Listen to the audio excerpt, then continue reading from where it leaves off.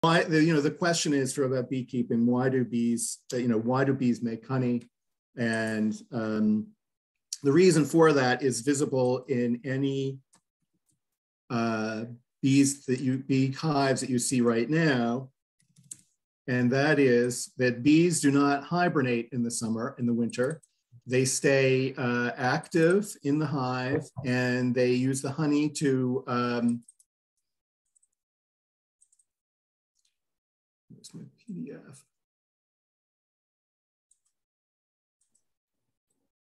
It's eight megabytes. It's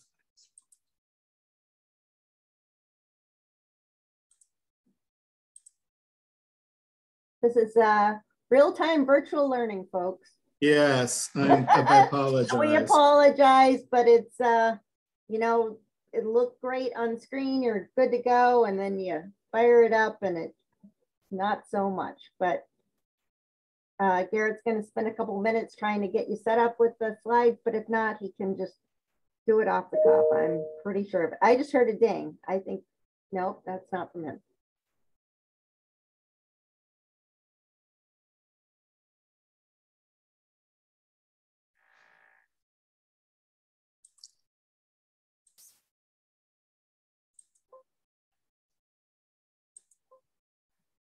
it's not.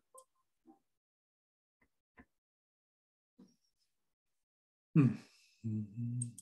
I think really the best way to go about this is just to keep it on. Says keep going. the pictures, yeah. Okay. Keep going. Uh, this is disappointing, but everyone so, knows what bees look like. Don't worry about yes. it. Yes. So um, bees stay active all winter long in the hive and they uh, eat honey and uh, the honey provides energy for them. Uh, they cluster in the center of the hive uh, and provide um, warmth by eating honey, shivering, and that metabolism actually keeps the center of the hive up to about uh, 90 degrees, 90 plus degrees, very consistently, no matter how cold it is, even during this cold snap that we've just had, uh, where things went down to um, you know minus eight or 10 where I am, uh, in the center of that hive, they were tightly clustered, eating honey uh, and keeping their queen warm. And uh, that's how they get through the year. Uh, and that's how they, um, they, they, they survive. And that's why we, we love bees because they, we take the excess honey and harvest it. And uh, bees have been producing honey for as long as there have been bees and humans have been harvesting it almost as long as there have been humans you think of bees as a wild creature, uh, but bees have been domesticated longer than cattle, uh, as domesticated as they are. Um, so let's talk about the biology of the honeybee. Uh, the European honeybee uh, divides into races, and races are kind of analogous to breeds of dog. Uh, everyone, all the breeds have their own characteristics. Uh, when I started beekeeping years ago, the most dominant strain were Italian bees. Italian bees are generally docile, um, you know, easy to handle, and they produce a lot of honey. Uh, as uh, bees have come under stress, other bee breeds that are more resistant to diseases and uh, better suited for a cold climate such as ours, like the Carniolians and Russians, have become predominant or mixed breeds. Um, and breeds tend to, bees tend to adapt themselves to local conditions. So they will, um, over time, the, one, survivor bees will adapt to cold weather conditions like we have here. And uh, now we're seeing even disease resistance. So there's a big push on for beekeepers to um, uh, take on local bred uh, honeybees. And uh, that's something that we encourage uh, people to do is when you're looking for bees, look for ones that are well adapted to your local condition. Um, so we're going to talk about the. So, uh, uh, Garrett, yes? I know you're, I'm sorry to interrupt. Your uh, images aren't showing up, but could you possibly share the slides just so folks oh, yeah. the text and take notes? That'd be awesome. Yes, I thought I was. sorry, I'm kind of befuddled at the moment. Okay, we, we gotcha. And we, okay. we actually see your pictures in the slideshow but okay. Really? Just keep going. Yeah, it's uh, never trust templates. Right. Yes. Well, I'm sorry. I will be having a word with a CCE extension. Anyway. Good for so, you. Go there are three director. There are three types of bees in, in the hive. There's one, the most of the most important one is our queen bee. There's one per colony. If there's more than one, uh, there's bee trouble in the hive. Uh, the, the queen is raised up by the other bees uh, by being fed a substance called royal jelly, which you can purchase um, in you know health food stores, etc., that has special hormones that causes her sexual organs to develop. In nature, uh, a queen bee lives for two to five years. She lays all the eggs. She predetermines the sex of the bee that's going to come out of that uh, uh, cell uh, as she lays it. Um, and they mate once, only once in their life and they gather enough sperm from several different uh, drones that they carry through them and that kind of um, mixes the genetics up so that they uh, keep uh, their, their, their genetics healthy. Uh, during the queen's life, she reduces, releases a pheromone, a scent that is called queenright. And as long as she's strong and laying eggs, that, uh, that, that substance is exuded and the bees are happy and they work. And as she weakens, as she gets older with age, the queen right reduces uh, its power. Uh, she's not producing enough, and that stimulates the bees to start raising up new queen cells and requeen.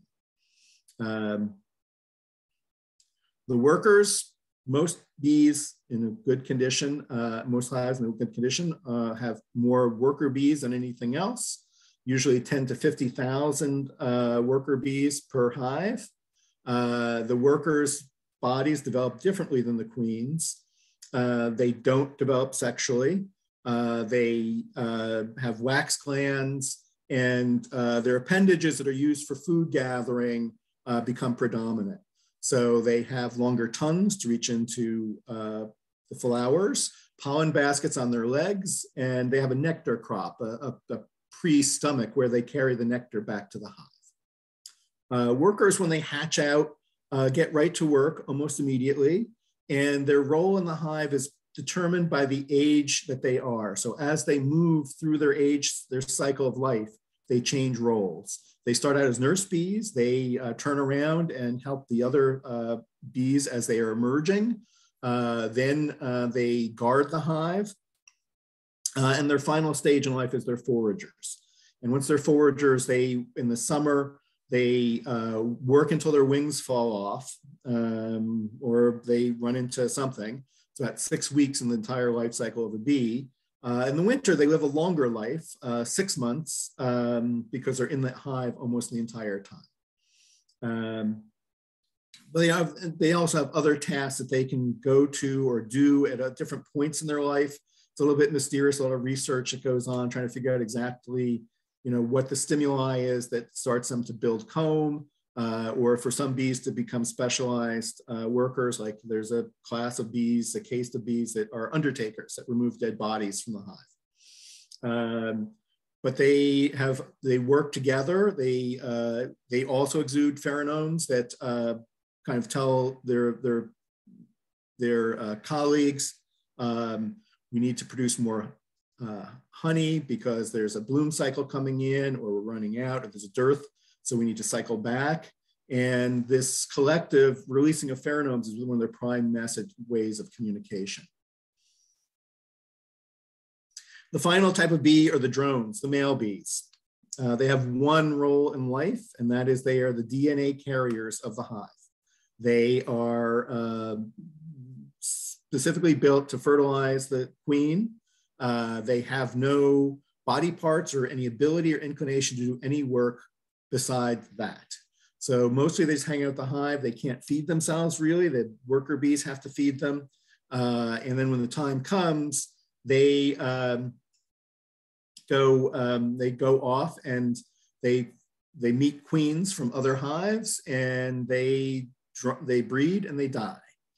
Um, you can't see the picture because it isn't here, but uh, if you're to look at a picture of a, of a, drone bee, I encourage you to look at the different types of bees to distinguish them. A drone bee is a slightly larger bodied bee with much larger eyes. That's the way you can tell a drone from a, a worker bee.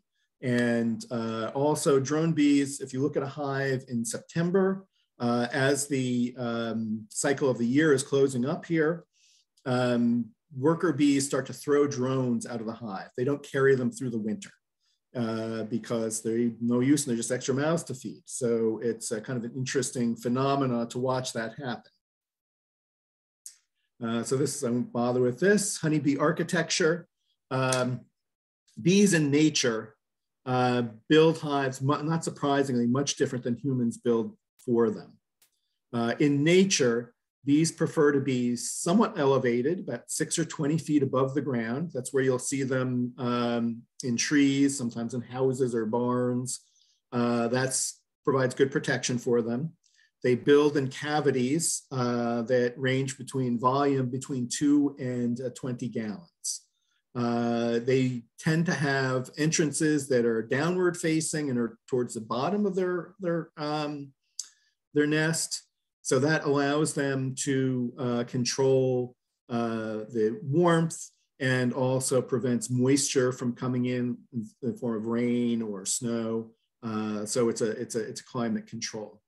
And also when they form new hives by swarming, they tend to move away from the parent colony at least a thousand feet, sometimes up to a mile away. Uh, so they're they're establishing new territory. The, the swarm is um, the primary means of bees uh, reproducing themselves uh, as a colony. Uh, is the bees will be successful in um, gathering honey and they will fill their, their, their, their hive up.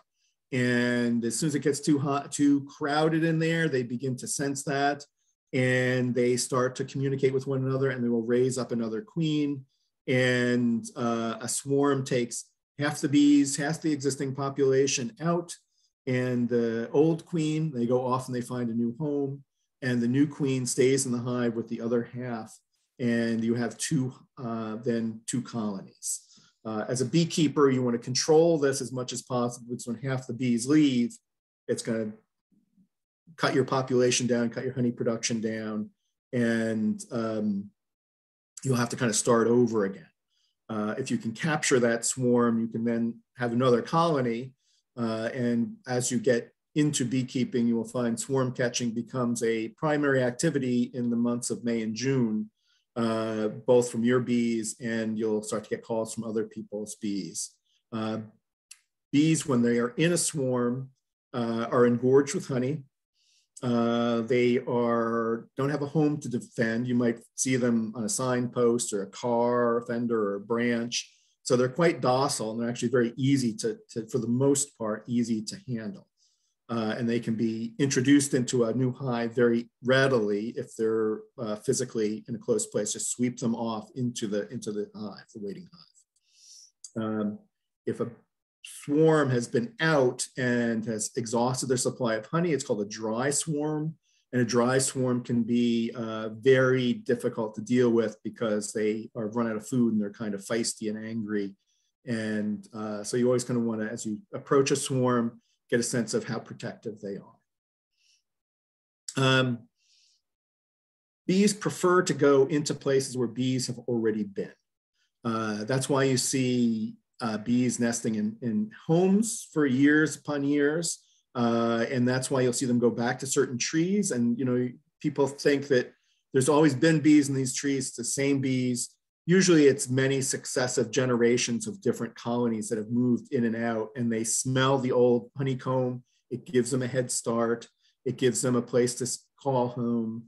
Um, so they will they will go back there uh, that becomes a problem in a building if it's there in your house uh, because unless you get in there and clean all the honey and comb out and then firmly close up that opening they will come back uh, again and cause the same kind of problem. So um, if you have bees in your home or another building, it's always best to call an experienced beekeeper who does removals, who will cut them out, clean out the hive uh, materials, and then seal it up so they won't, won't come back there.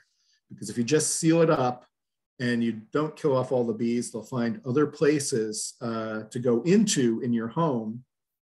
And I know a, a, family that did that, they had someone come and do this, and all of a sudden the bees were coming out of the, the uh, light sockets in the upstairs bedrooms. They had found a, a, way out, and their upstairs was filled with bees. Uh, so that's a caution. Uh, so inside the hive, honeycomb is built of uh, the wax that the bees exude. Uh, the cells within the comb are hexagonal and they're uniform in size. Uh, honeycomb that's used to raise workers and drone broods are different sizes. Uh, that's the only real difference in, in any of the comb that you can see. The drone broods are slightly larger, drone brood comb, and the, the worker bees is, is, is slightly smaller. Uh, but honeycomb is a multi-purpose uh, substance because it's not only used for raising the uh, larvae of the, of the bees, but it's also used for storing uh, honey, uh, pollen, and uh, bee bread. The interior of a hive is normally about four to six combs wide. You'll see in, in houses and such, when we keep bees in, um, in, our, in our artificial hives, they tend to be, we do eight to 10 combs. That's why sometimes bees don't build out all the way to the edge. Uh, the bees organize their work in the interior of the hive uh, spatially. They work from the bottom up. So uh, they tend to have the brood chamber. You'll, you'll see the typical Langstroth hive is two boxes and then supers that go up above that. The Langstroth hive in the bottom part is uh, where the bees will initially begin to raise their young and store up above. And then as they get more honey and more pollen that goes into the supers above that, the boxes are subsequently top, piled on top. Um, uh, so in the spring, one of the things you do is reverse the hive bodies so that they have empty space to work through. Because one of the things that they sense is uh, where they are sent close to the top. And when they get close to the top, they start to feel crowded and will, will swarm. Uh, but the the food storage goes up above and they will keep adding food storage, honey and pollen uh, as time goes on. And that's where you stack up the supers, the boxes that go up on top. And um, the other thing to keep, keep in mind about honeycomb is it's built with a slight upward angle so that uh, the honey doesn't flow outwards if there's uh, if it gets too warm. So so one of the things that, you know, as you see bees in the field, and one of the joys of keeping bees is to observe them.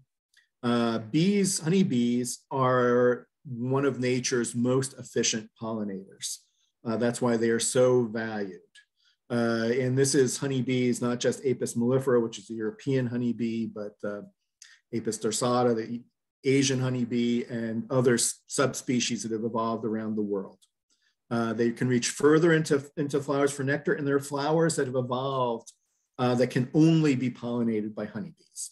The classic example of that efficiently are apples and almonds. Uh, apples will get cross-pollinated by the wind and by other insects, but if you ever see a misshapen apple where part of it's grown out larger than the other part, that's due to uh, inefficient pollination uh, a bee will go in there and uh, pollinate all the stamens uh, of the of the uh, apple blossom, and therefore the bee the apple will develop in the full round. Uh, without that, it develops as kind of a, a, oblong, a misshapen thing. Almonds are um, almost entirely in the U.S. as a cultivated crop, almost entirely pollinated by honeybees. Uh, nothing else has really been an effective uh, pollinator. And it's such that right now, even as we speak, uh, there are bee colonies being loaded up on semi trailers uh, and being prepared to be moved to California starting in the first week or two of February uh, for the almond pollination. Uh, something like several million colonies of bees from across the United States head to California in February just to pollinate that one crop because they do not pollinate without that. Um, other structures on the bee's body that uh, are efficient for pollination is they carry pollen baskets. If you look close up at a bee as it's going into the hive, you'll often see a little yellow dot on one of the back legs.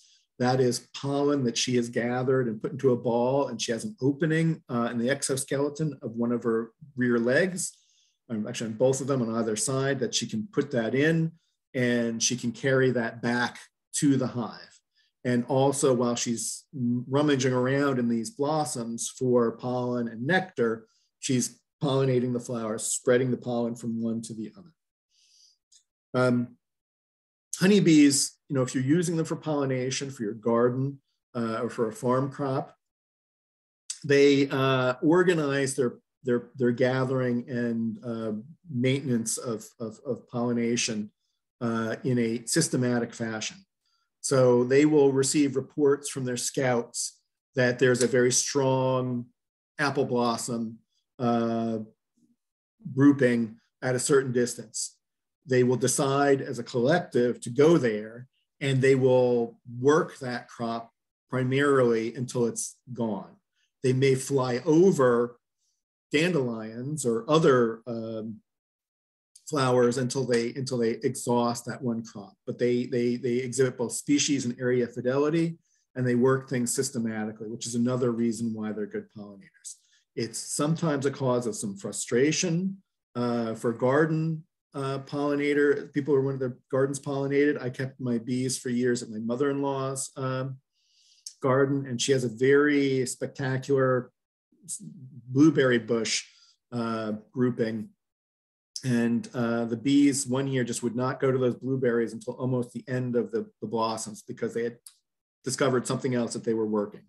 And I couldn't explain why they would go, why they would ignore their beautiful blueberry blossoms and they were off in dandelions or somewhere else. Um, so again, bees have been with us for a long time. They've been in an environment for a long time. They are very important to uh, many crops that we have, but some of it has just been a factor of coevolution. I mentioned almonds, blueberries, apples. Uh, I think that the broccoli and other crops, um, these are very important uh, uh pollinators. So when foragers go out, they collect nectar and they fly it in. It's, it's each flight is worth is is equal to about 50% of their body weight. Uh, it takes about a thousand visits to individual blossoms to fill their crop before they go back. Uh, the average lifetime production of honey per bee is one twelfth of a teaspoon. Uh, when they bring the nectar back, it's about 70 to 80% water. Uh, and they, uh, in their crop, they introduce um, enzymes and they start the process of um, winnowing it down, making it evaporate, concentrating it, and that's continued in the hive. They put the uh, the the nectar into the honeycomb. The other bees uh, fanning and keeping air circulation going uh, will start to evaporate that because they need to get it down to about 18%, uh, at which point it's moisture, at which point it's stable. Prior to that, it will um, ferment uh, and it will tolerate um, that the will be a host for fungi and other contaminants. Uh, but once it gets down to its stable place where it's capped, honey uh, will last because it's a, a super saturated sugar for generations. You know, they found honey, you know, the, the classic line is they found honey in the in the uh, pyramids that was still good because it's a, it's a, it's a super saturated sugar. Nothing will grow on it. And in fact, uh, honey is a uh, designated wound dressing by the World Health Organization for um, places that don't have access to um, the Western medical goods because uh, honey as a wound dressing, uh, the sugars absorb uh, moisture and germs and viruses can't live on it. So it's effective in, in, that, in that way. Um, so the honey itself, the, the product that you want, uh, is changes through the course of the season. Spring honey is different than summer honey. Summer honey is different than fall honey. Uh, if you are lucky and diligent enough, I'll talk a little bit more about this in the next session when hopefully I'll have pictures. Um, you can capture varietal honeys. Uh, these are honeys of specific blossoms. It's hard here in the Northeast to um, get varietals because our, our season is compressed. In a place like Florida or Georgia, where you have a very long blossom season, you'll go from orange blossoms, there'll be a break or a dearth of a couple of weeks, and then there'll be other flowering things. Uh, here, everything comes in at once in a very short period of time. So, um, you know, I always try to get basswood and locust uh, honey, and I've gotten it about one in 10 years uh, because it has a blossom span of about 10 days in late May or early June, both of those trees. Uh, but they produce a very fine water white honey with a very nice, uh, subtle flavor.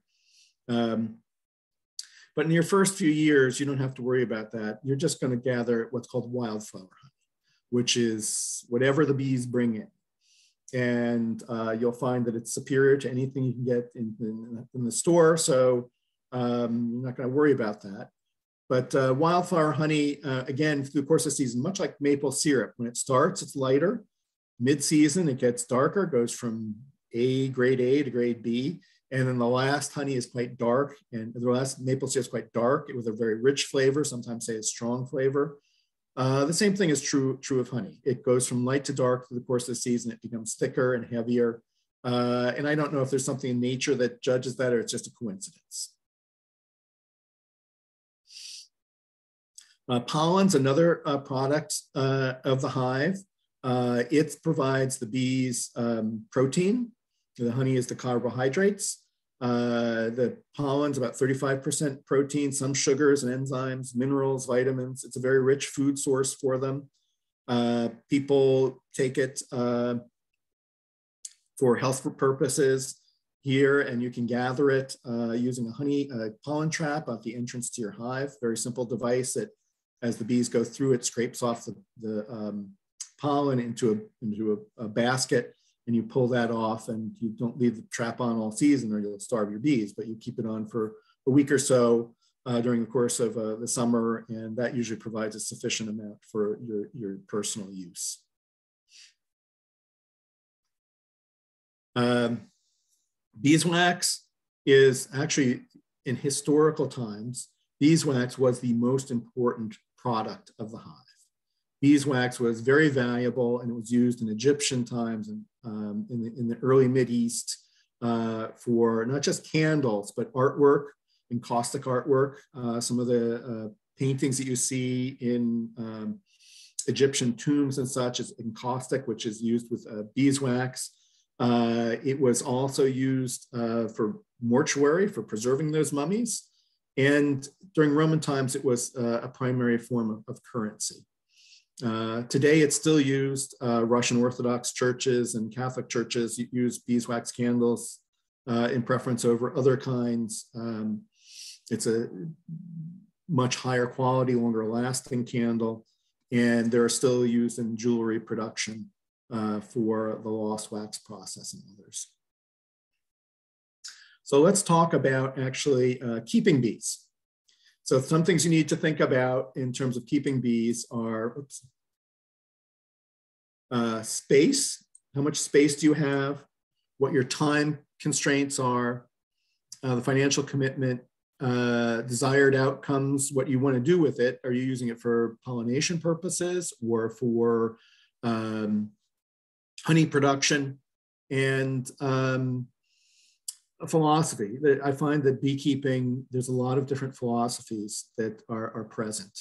Um, I won't go into them in any depth, but um, one thing you'll, you'll learn as, as time goes on, and I'll talk a little bit about this in a moment, is uh, that bees are suffering from several different uh, diseases and maladies.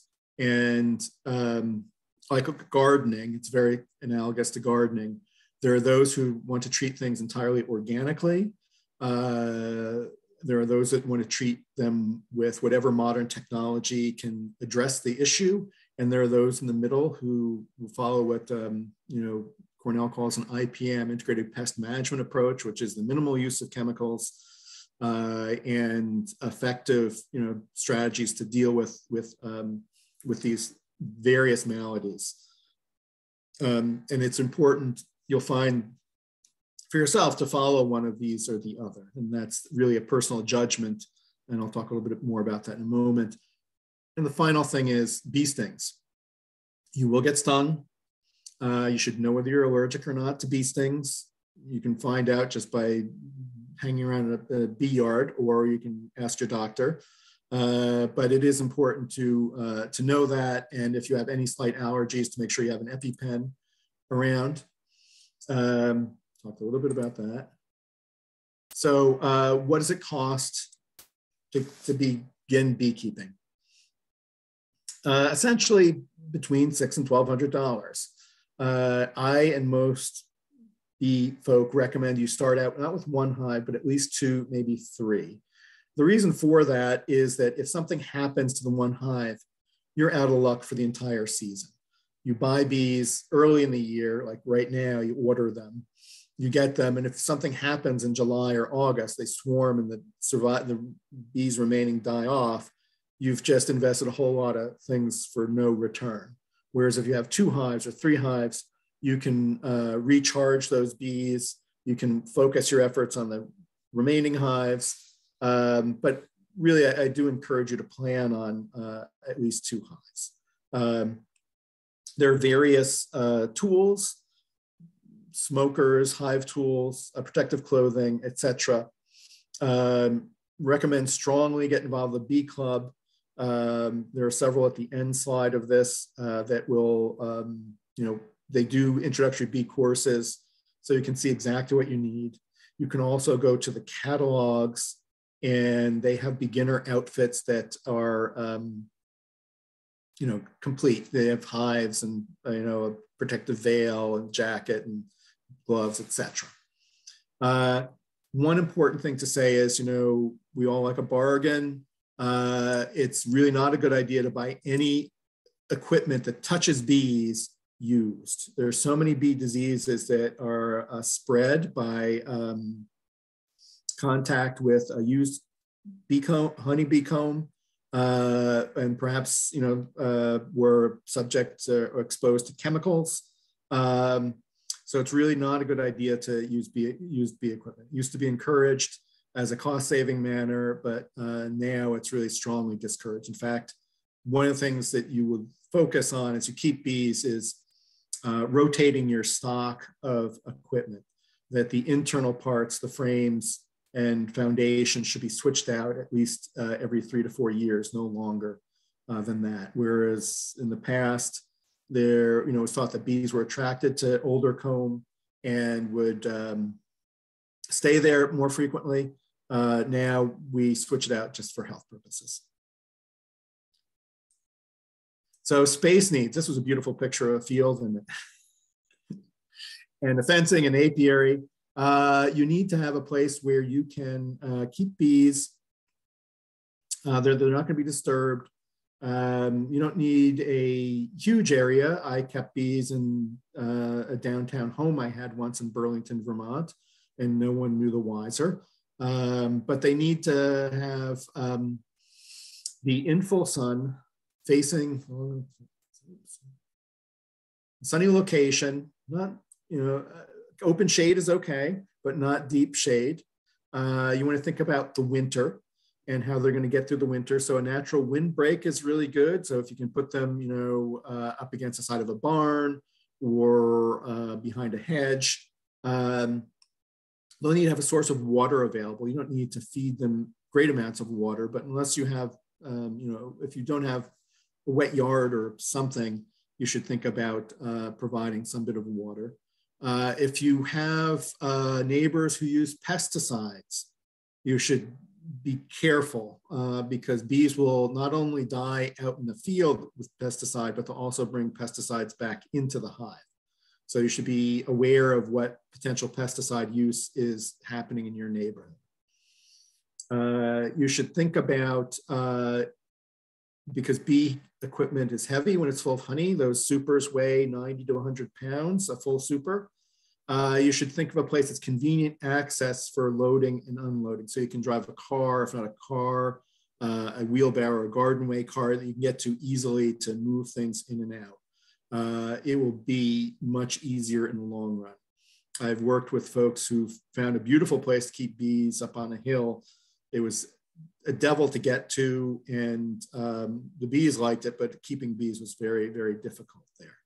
Um, if you're keeping in a, uh, in a village or suburban neighborhood, you want to be a good neighbor. So you want to ask, uh, talk to your neighbors about this.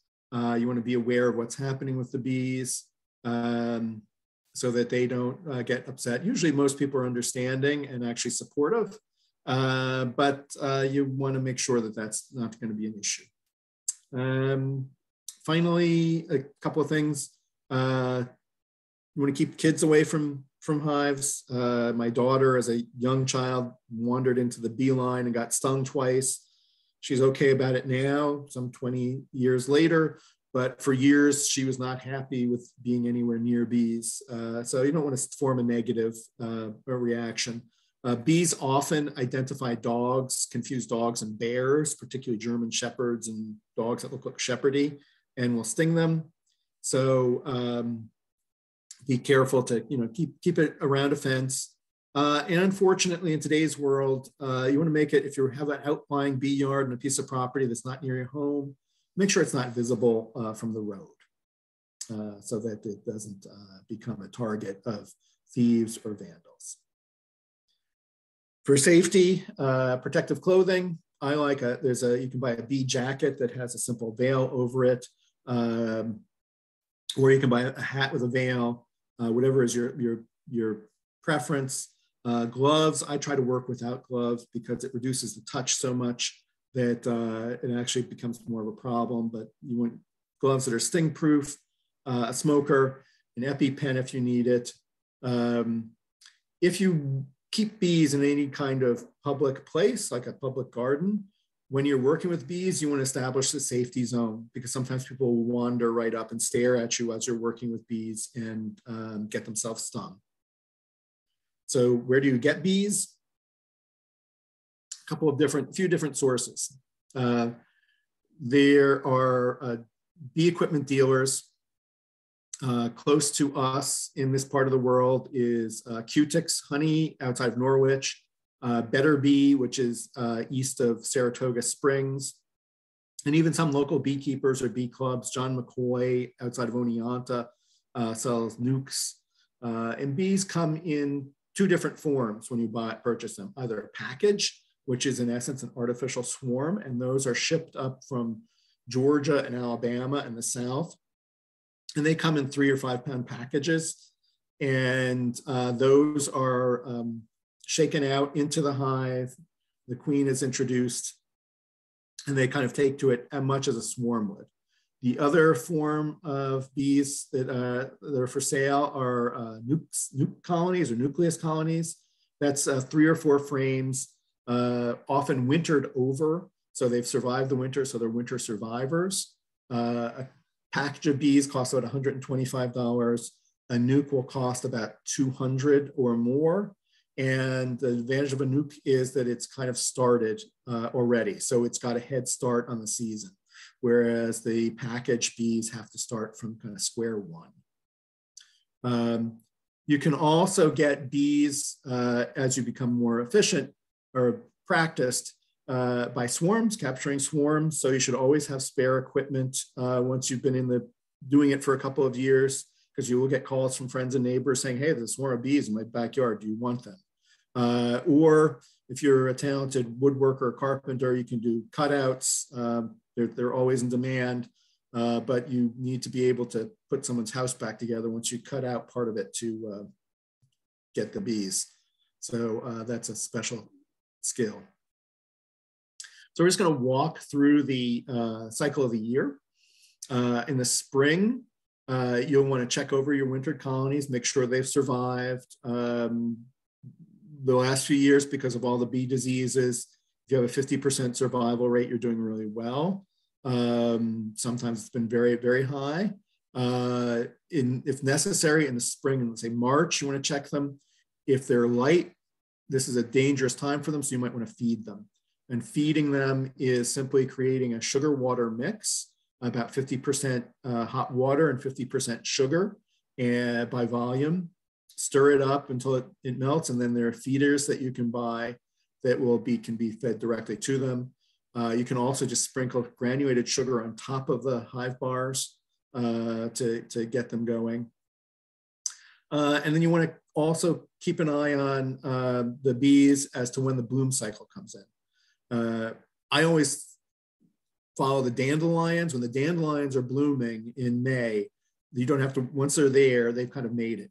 Uh, there are earlier, like pussy willow and uh, some maple trees that are blooming earlier, and will see them bring in um, pollen when there's no leaves on the tree. I still don't know where they get it, uh, but that's when they're starting. But that isn't really sufficient to carry them. Once they once you hit dandelion season, they're kind of off and running. You don't have to worry about feeding from that point. Uh, summer, you want to monitor the blooms as they come in and in and out. Uh, keeping a diary is really helpful because you can then know how well they're doing and what the child, what the, the bloom cycle is in your particular neighborhood. Uh, you check in on your hives. I just like to look at the entrance. You see a lot of, you learn a lot from the entrance. You want to check the brood patterns. You'll know by looking at the internal uh, pictures of the, of, the, of the hive as to how the queen is laying and how things are going. And then the supers being filled. Um, and you want to pull them off as they fill so they don't get too crowded and replace them with empties. Uh, in terms of working with the bees, uh, working on sunny days is always safer than cloudy, rainy days. Bees are like humans, they like warm weather. Uh, you approach and work from the back and the side so you're not in their way. Uh, and uh, don't block the, and work quickly and calmly. And this is a practice thing because when you're working with 10,000 stinging insects, sometimes it's a little bit uh, nerve wracking.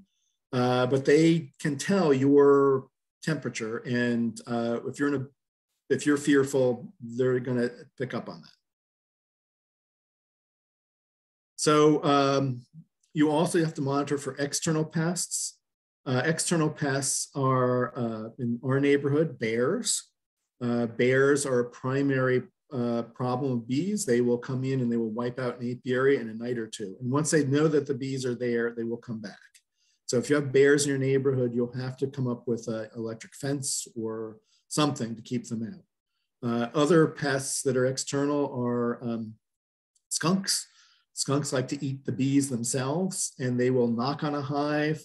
And um, you know, as the bees come out to protect, they will catch the bees and eat them, uh, and they'll deplete a hive to the point where uh, it endangers its survival.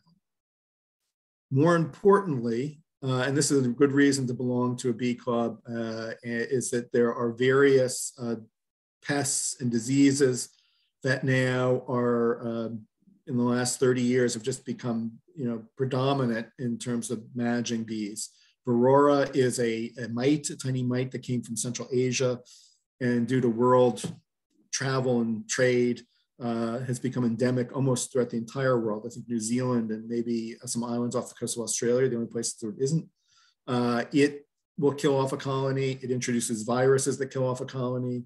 Uh, there are methods to manage it, which um, you would need to you need to kind of educate your own self on. Various foul broods, nosema, hive beetles. Each one requires a specific strategy. Uh, finally, you get to the fall, and you want to make sure you're going to plan on harvesting the honey. So you have those supers that are atop the, the two hive bodies.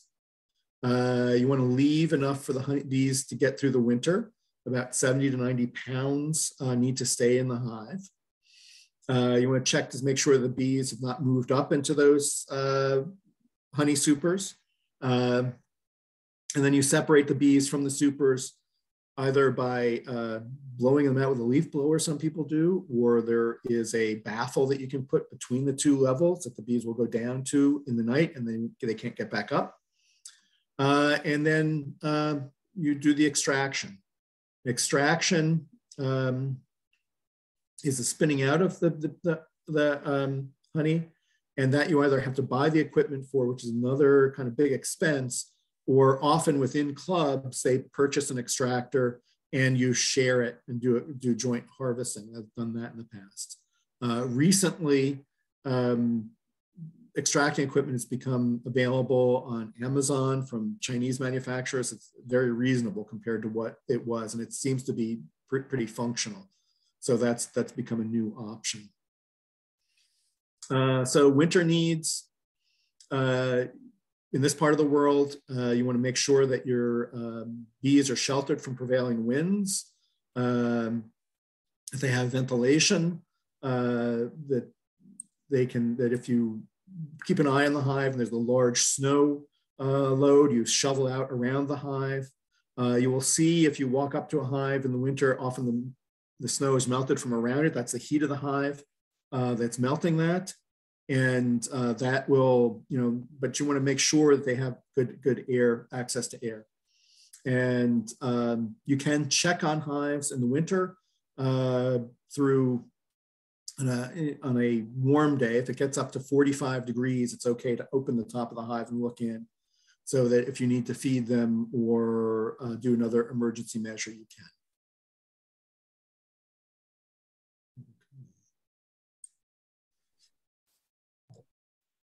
Okay. And then you want to come.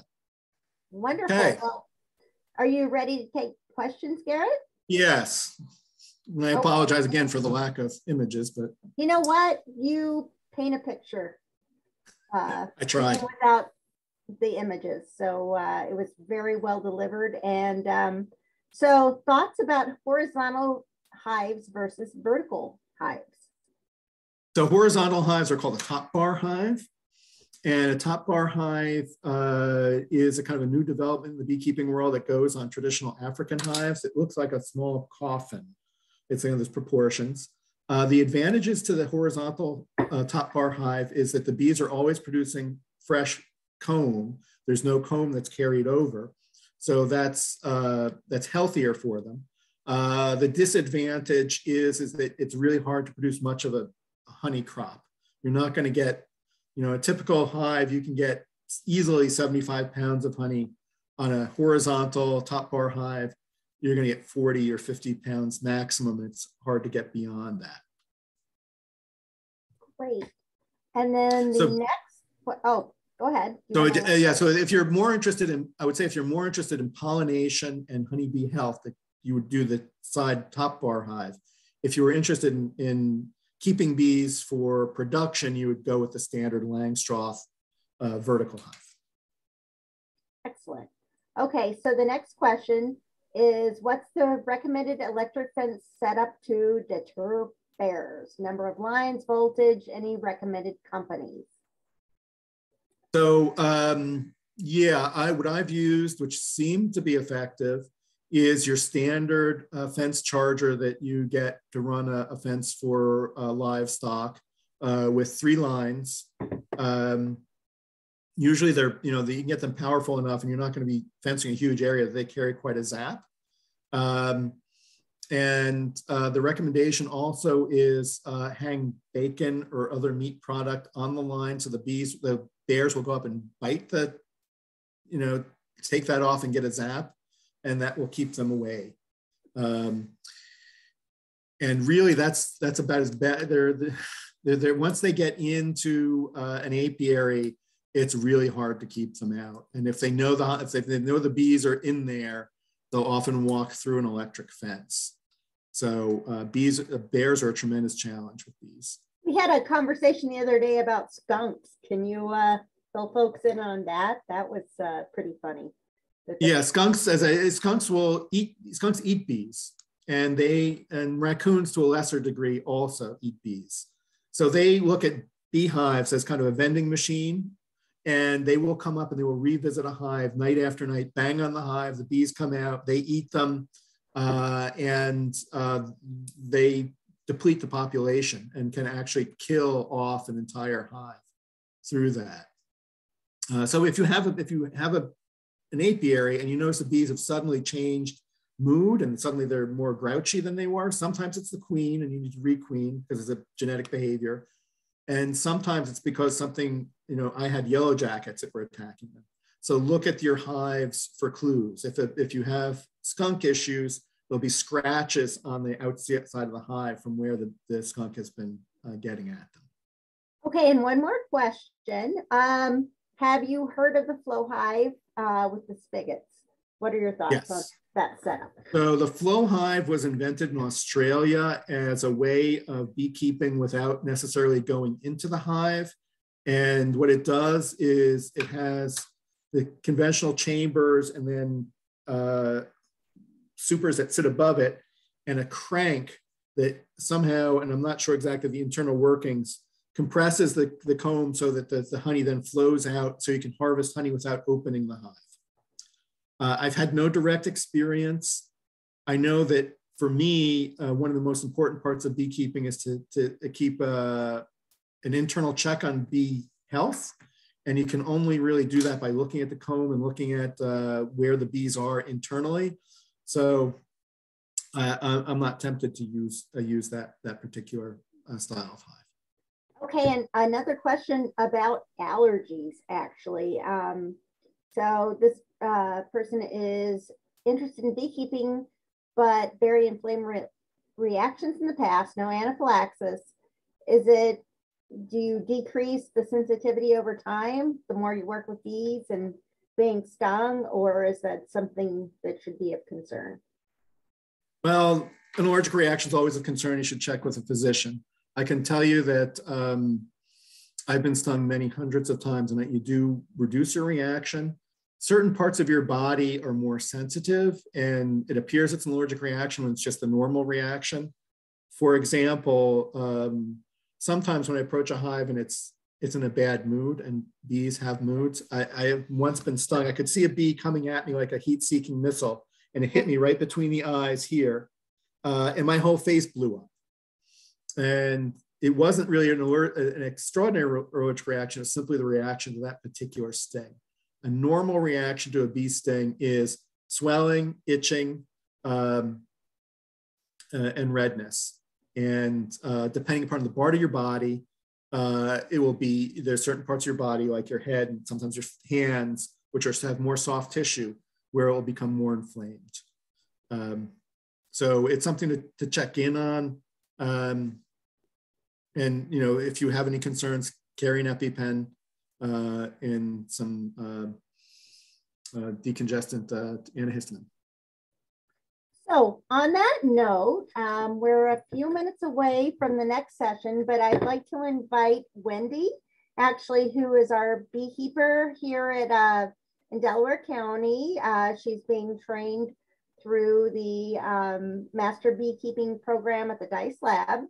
Uh, she can um, tell you about beekeeping opportunities at Birdsong Farm Community Garden. Are you here, Wendy? And if not, um, I'll just. Okay, I think I oh, unmuted. she is. I, I, knew she was here. Hi, Wendy. Hi. Very nice uh, presentation, Garrett. Um, Thank you. Always interested in hearing and rehearing anything any beekeeper has to say. Um, we had a very good year at Birdsong. We need lots more volunteers in Delaware County. Um, we started with 11 hives from brand new nukes and we got over 300 pounds of honey the first year, which was amazing. Um, we ended up trying to overwinter nine hives. I had to combine a few because they were queenless, I believe. They had late swarming. And we checked them in December when I was back. I live in Ohio. So we were back in December and they were all still alive, but we hadn't had this cold snap yet. And actually, the warm snap was worse for the bees because they're eating all their resources. but uh, I tend, we intend to go back in the next couple weeks and we'll check them again. But hopefully we can get some to overwinter. And I'd really like some interested people to join us if they like. Um, it's very, very interesting to me. I'm very. Uh, drop your email address in the comment box.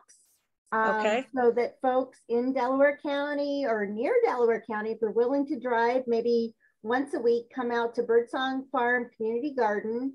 And um, Wendy has taught so, what was it, two or three people last year who had I no. did. I have a couple more interested, so that's great news. Well, even last year you had Georgia and a few other folks suited up. I did, yes. And and- towards the end of the year, I had a few more and told them we definitely want their help in the spring. And they never thought they could be beekeepers or that this was out of their reach, but just to get the contact with you and the hands-on, they really, really learned it. So um, yeah, so Wendy's gonna put uh, her email address in the comment box and you can reach out to her. We are, I think, in, for now thinking there will be sometime during the day on Wednesdays, right, Wendy? That Yes, that would be a good day, depending Yeah. on weather, of course. That's always a iffy factor, but we can Yeah, still so have we- discussions for sure on Wednesday, whether it rains or shines. So So for those of you who aren't familiar with Birdsong Farm Community Garden, we run volunteer uh, gardening sessions throughout the week. And um, we figured out that it's not a good idea to deal with bees and vegetables on the same day because uh, if the bees are in a bad mood, people are gonna get stung. So, um, Well, we I, my experience with those bees at the yard is they were kind of aggressive bees. My, my bees in my yard were much, much nicer. So hopefully we can requeen some next year and get some gentler bees, but Yes, but anyways, we will set Wednesday aside for you bee people. And you guys can work together on um, the time of day and how you want to arrange the sessions. So with that, I think, um, Dale, how are we looking on time? I think that um, we can take a brief break, maybe two minutes All right. and or then- so, and then start the next session. Excellent. Okay, well, thank you, Garrett. And um, if you want to try to send me the next set of slides for me to show from here, we can try that. And if not, I thought what you did just now was fine. Yeah, I think that the new, the next set of slides is in a different template, so it should be okay. Awesome. And we'll try to post the, the corrected PowerPoint up on the website so you can have access, the participants can have access to it in the future. Excellent. Thank you so Yes, much, Garrett. We we appreciate it. Yes, yes.